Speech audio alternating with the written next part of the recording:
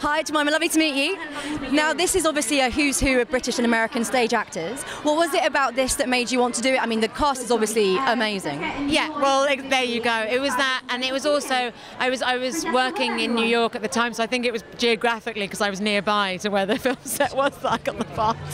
And um, yeah, I'm being honest. Um, and uh, and I read it thinking, oh, here we go. It'll be a few scenes, and they'll probably be a bit crap, and they'll probably get um, sorry, and uh, they uh, will get cut from the movie. And then I read it, and there's one particular scene in the movie. Um, I haven't seen it, so I'm hoping it's still in there. We won't spoil it But, for um, anybody. uh, and because of that, I was just like, yes, of course I want to do that. Um, and then the fact that the sort of like hearing about the cast as you know, before I got there filming, and I sort of got there, I think they were about halfway through, and I was like, this is a dream, dream job.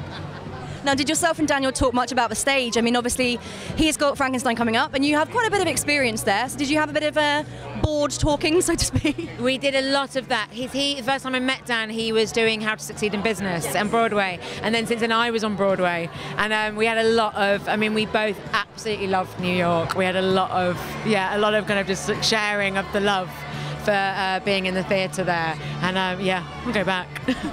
Now, I'm not going to assume as a girl, but have you always been a fan of rom coms anyway? Yes, I have. Though I, I think they, in recent years, they're all a little bit formulaic. They're a little bit safe. They're a little bit twee. And um, and what uh, I love about this script was that it's it's real. It's got a bit of edge. Um, it's got a bit of character to it, and it's also character based, which is so nice and um, unusual. And who would be, if you could choose anybody, who would be your perfect leading man? Is that is that even possible to decide? Oh, I don't know. I, there's so, so many.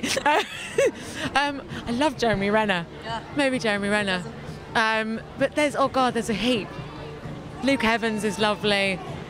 I've had some lovely ones. I was saying I'd love to do, I'd love to work with Zoe Kazan. I didn't really have any scenes with her, and I think she's amazing. So she could be my leading man. I could be her leading man. And finally, what's what's next for you? What's coming up? I am currently rehearsing a play called Breeders for the St James Theatre, which is a new comedy um, about what it means to be family and having babies and all that kind of thing. Thank you so much, and congratulations.